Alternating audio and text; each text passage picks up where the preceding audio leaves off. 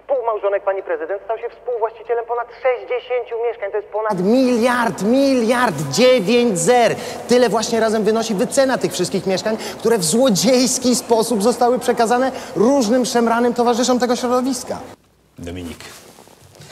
Mój ulubieniec. O, o wilku mowa. Tak, Dominik? Dzień dobry panie Mariuszu, bo tutaj mnie pytają, czemu Unia się na nas wypięła. To co mam mówić? No właśnie mamy spotkanie w tej sprawie, to ustalimy i ci wyślę SMS-a. No to w kontakcie. Alright. Krótko, zwięźle na temat. Powiedz, co trzeba, od siebie dorzuci z energią żywo. Po angielsku jak zasługa. No, pistolet. Nie to, co te nasze zamokłe kapiszony. Jakie zamokłe kapiszony? Cześć. Takie.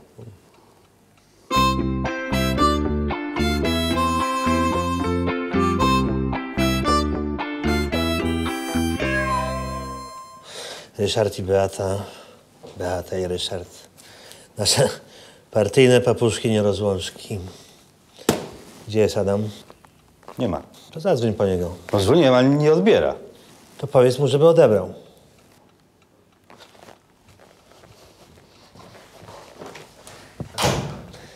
Nasza gwiazdorska telewizyjna para. Po prostu fajnie się uzupełniamy. Ja wiem, jedno myśli, drugie mówi. A dla ścisłości, które jest które? Jesteśmy zgrani wizualnie. Facet, kobieta, wyższy, niższa, starszy, młodsza. Czytam odwrotnie. A no właśnie, to co jest dobre w komedii, na estradzie, no to tu już, tu już niekoniecznie. No. Wyglądacie razem jak ojciec z córką rozwódką. Jaką rozwódką? Ja mam rodzinę, męża. Ja wiem, co ty masz, ale nie chodzi o to. Chodzi o to, jak z kim wyglądasz. Przecież ty w telewizji no, nie masz czoła, bo ci obcina góra telewizora, tobie obcina dół telewizora, dolną szczękę, no przecież to niepoważne. No to jest niepoważne, ludzie się z was podśmiechują. Znaczy, chcesz nas rozdzielić? No Przecież Ryszard, Beata, Beata, Ryszard, telewizyjna marka. Marka to jest, nie wiem, Marek i Wacek, dwa fortepiany, a wy jesteście jak puzon i bęben. A, a w czym ja przypominam puzon? Też jesteś złotousta, Beatko. No nie odbiera, no. Kto? Adam. Jaki Adam? Ten, co wszystko wie najlepiej. U nas innych nie ma. Ja pamiętam, jak po dwóch latach rządów Platformy on się zarzekał, że już po nich, że już nie mają szans. A oni sześć lat jeszcze rządzili. Łajzy. Taki analityk. No, sekretarka się ciągle włącza, no. Elektroniczna. Wielka mi sekretarka. No dzwonię do ciebie i dzwonię, gdzie ty jesteś? Awaria, korek był, borowcy koparkę stuknęli.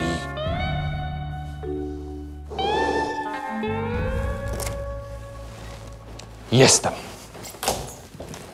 Jarek, proszę się, przemyśl to.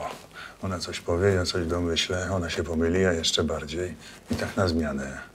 Dobrą. On przykucnie, ja stanę na palcach i się zrównamy z grubsza. Jeszcze lepiej. Ktoś z boku was filmuje, będzie dziad i baba jak z ruskiej bajki.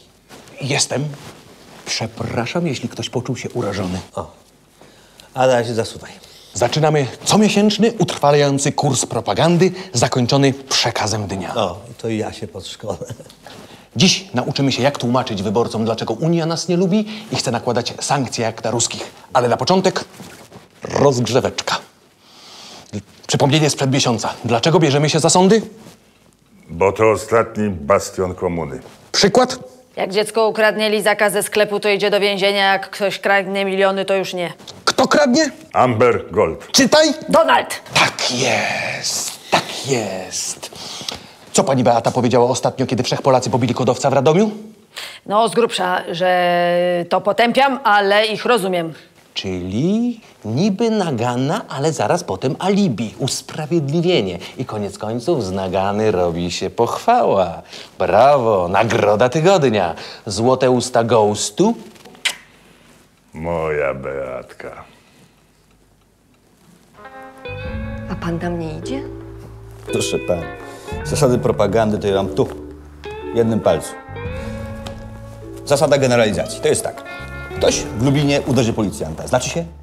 W Lublinie biją policjantów. Albo ktoś na festiwalu narkotyki zje. Znaczy się? Na festiwalu biorą narkotyki. Proste? Proste.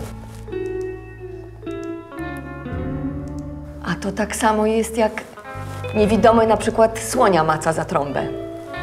I mu się wydaje, że cały słoń taki jest, cienki i podługowaty. To to. A na przykład głodne dziecko za kradzież lizaka idzie do więzienia. Y, To wiadomo, wszyscy pana koledzy to powtarzają. Y, Czasem tylko zamiast lizaka pojawia się baton. Y, A teraz z innej beczki. Chętnie. Dlaczego Polska jest izolowana w Unii? Tego jeszcze nie wiem, ale zaraz będę wiedział. A to jeszcze nie było przekazu dnia? Y, To ja za chwilę... Nie, ty, zaraz. Moment, gdzie ty lecisz, frywolna? Zaraz ci odpowiem. Aż tu ciągnie po tych naszych korytarzach sejmowych. Za. za. E? A ty się w ogóle ciesz, że ja ci udzielam wywiadu. Bo na przykład tamtym dwóm parówom to nigdy. Won! Słuchaj. Walczyć o Polskę można na różne sposoby. Wyrywając kabel z wrażej kamery, jak to zrobił pan Rysiek, ale można też walczyć językiem. Wróćmy do naszej Unii. Oni nas krytykują za wycinkę puszczy, za niszczenie trójpodziału władzy, za łamanie konstytucji. A my, panie Ryśku, co robimy? Co chcemy?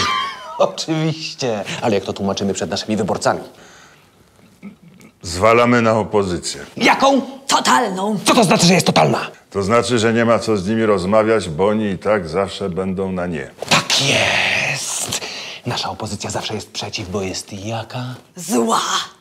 Zły to był wilk, co zjadł babcię. Antypolska. Pan prezes, brawo, oczywiście. Jaka jest opozycja? Antypolska. Jaka? Antypolska. Antypolska! I na wszystko reaguje jak? Histerycznie. Dlaczego? Bo ją odrywamy od koryta. Reaguje histerycznie czym? Czym? Jazgot. Jazgotem. Antypolska, totalna opozycja. Reaguje histerycznym jazgotem. Co to jest jazgot? Ujadanie. Y, Taki hałas, że nie można nic zrozumieć. A kto hałasuje, nie używając słów? I na przykład niemowa jak wyciąga naczynia ze zmywarki. Pan Ryszard. Pies! Ja? Pies, pies, pies ujada jazgotliwie, a za to już można kopnąć. A jak jest pies, to jest psia morda. A jak jest morda, to... To zamknij mordę. Nie, Rysiu, niech mówi dalej. Bo wroga zawsze trzeba umniejszyć, zminiaturyzować, zdeformować, a najlepiej odhumanizować. Nie wolno bić człowieka, ale to już nie jest człowiek.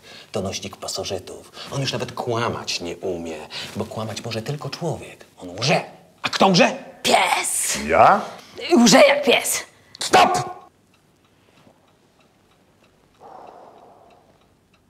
Wyobraźmy sobie, że jestem Donald. Przepraszam, jeśli pan się poczuł uderzony. Ja potępiam to, co zrobiłam, ale się rozumiem. Kinga, Kinga! Nie odwracaj się za siebie, bo cię z przodu ktoś... Wiesz, ale kto cię słucha? Woo, woo, woo, woo. Dzień dobry, Pani Krystyno. Dzień dobry. To ja, Dominik. Łatwo zapamiętać. Dominik. Tak jak ten słoń. Dominik. Przepraszam, Tak. przepraszam. Tak. To skoro pan się jeszcze namyśla, to ja y, pójdę i zrobię wywiad z tym wariatem z PO. Nie, a po co? Po co wariat spróbować? Ja tu jestem. O, zdjęcia z wakacji ci pokażę. Zobacz. Na Miami byłem. Patrz, domek na palach, w takim mieszkałem, palmy dookoła, tu na motorówce, drinki z parasolkami. O, moja dama, zobacz, jaka opalona. Ostateczne wylaszczenie. To moja fura sportowa. A to, to chałupa w Kielcach. O. I ja w Lizbonie z tymi, jak się mówi, yy, portugalskimi uchodźcami.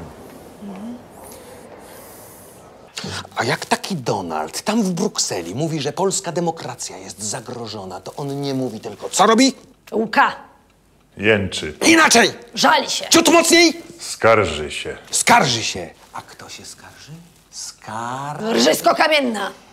Skarży pyta, Beatko. Skarży pyta. Czyli? Donosiciel. Czyli koniec końców? Zdrajca. A co robimy ze zdrajcami? Wieszamy. Wieszamy w powietrzu proste komunikaty. I teraz tak, ktoś sobie myśli, może tam u mnie na osiedlu niby nic złego się nie dzieje, a za horyzontem wszystko płonie. Twój sąsiad mówi to samo, bo obaj oglądacie to samo. Czyli co? Wszyscy tak mówią. Proszę pani. Nie, ja, ja już tylko przyrodniczy oglądam, żeby się nie denerwować. Kogo obchodzi przyroda, pani Basiu? Dokument o jenotach widział pan?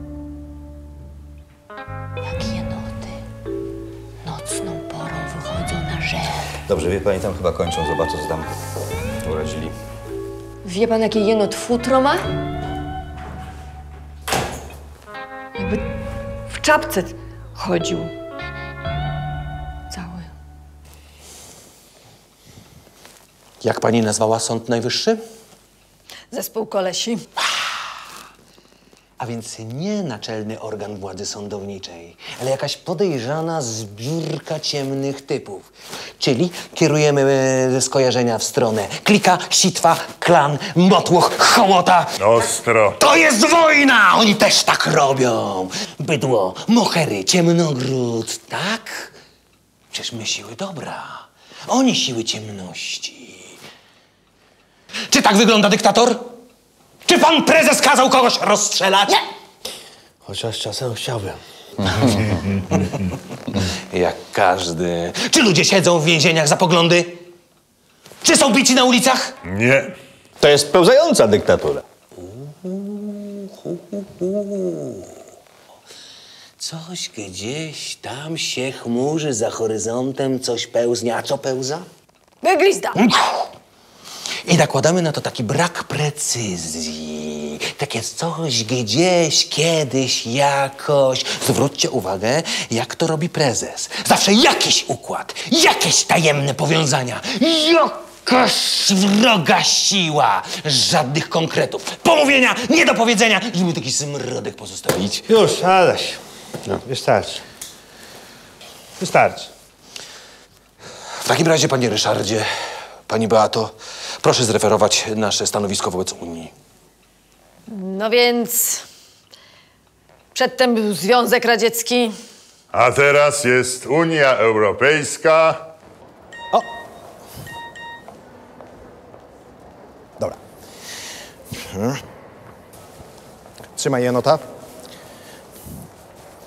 Najpierw był Związek Radziecki, a potem Unia Europejska, która chce nakładać na nas sankcje, mimo że tak naprawdę nie wie, co się u nas dzieje. To znaczy wie tyle, co jej kłamliwie naskarży antypolska, totalna opozycja i histerycznie kwiczące łże elity, które wyżej niż zdrada cenią sobie utracone miejsce przy korycie i które są prowadzone przez swojego lidera, który jest zamieszany w pewne bardzo niejasne machlojki.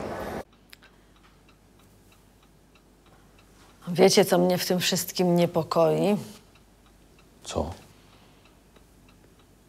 Że ja prawie uwierzyłam w to, co powiedziałam. A właściwie ja w to wierzę. Ja też. Ja też. A wiecie, że ja też? A pan, panie prezesie, wierzy pan w to?